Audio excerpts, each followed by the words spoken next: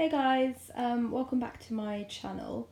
Um, I just wanted to do a quick video to show how I um, attach acetate and vellum in my planner.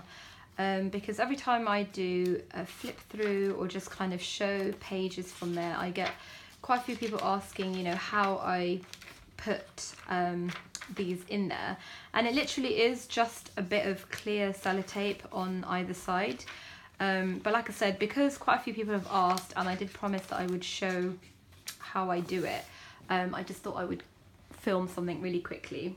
So you know first obviously you want to just measure out um, the acetate or vellum what you you know or even piece of paper that you're trying to put in.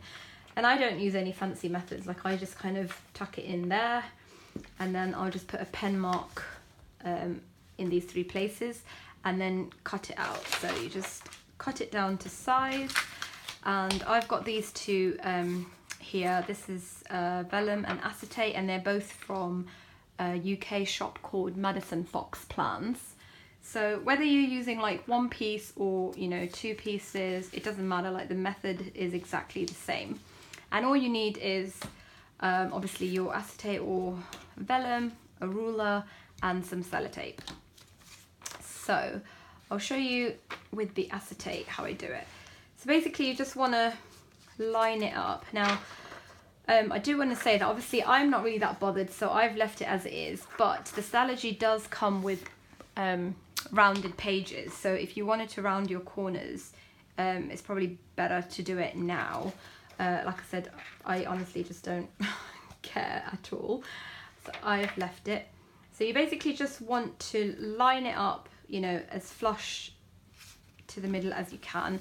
And if these pages are kind of falling over, you might want to put something heavy on it to keep it there. And then you just get your ruler and some sellotape. And the non-sticky side, you want to wrap around the ruler. So let me see if you can see that. So just like that, you've got half on this side and half on that side. And the sticky side is on the outside. And so it's a bit tricky, one second. Okay, and you're just gonna get to, see if I can zoom you in.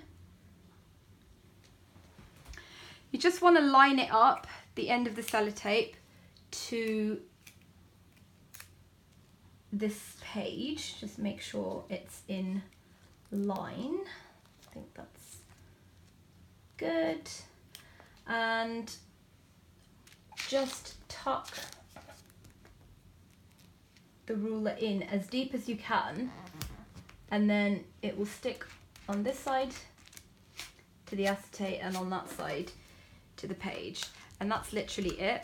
And I'll do another one on the bottom. Sorry if you can't couldn't tell if that was in frame or not so I will try and do it again on this side. So again you just want to get as close to the edge as possible with the sellotape. Line the sellotape up and just like that. And that's it really. And you can put like you know one in the middle if you wanted to. Um, what I generally do is I do two on the ends like here and then I'll do one on the back side as well but just in the middle. So again the sticky side on the outside just wrap it around the ruler. I think if you have a smaller ruler it might help it might work better. And just again tuck it in and then that's it. And there you go. Um, and then I can add this vellum in exactly the same way um, I will show you so again just line it up piece of sellotape and find it easier to do it like this.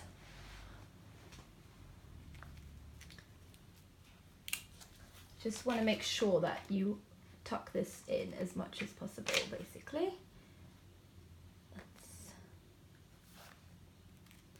Lined up and just put that in and this time obviously it will go onto the acetate on that side. Let me see if I can try and do this a bit quicker.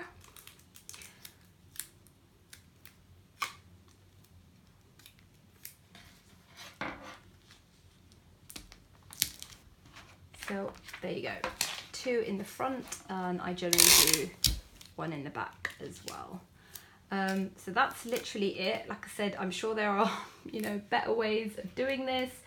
Um, for me, it's just the easiest way I've found. And the ruler kind of just really helps to tuck the sellotape in as close to the middle as possible. And there you go, um, acetate and vellum. So I hope that was useful. Um, sorry if I was out of frame for a little bit there. Um, if you have any questions, let me know or you can send me a DM on Instagram. Um, yeah, and thank you guys for watching.